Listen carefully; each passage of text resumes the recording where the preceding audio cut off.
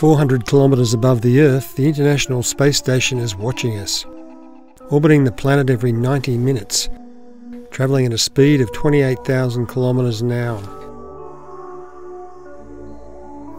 It was built over a 13 year period from 1998 with more than 70 Russian and American flights transporting the 100 or so components at a cost of $100 billion. At 108 metres long, the ISS is solar powered and the living space is equivalent to a Boeing 747. Equipped with several laboratories, it's a unique platform to conduct experiments, observe the world, climate change, and the universe.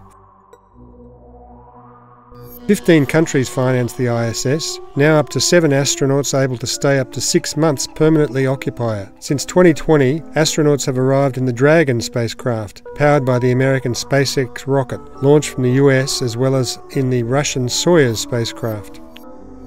Two spacecraft are secured to the station to act as a lifeboat should the crew ever need to evacuate, a key stage in the human exploration of the Moon and beyond, the ISS will remain in use until at least 2024.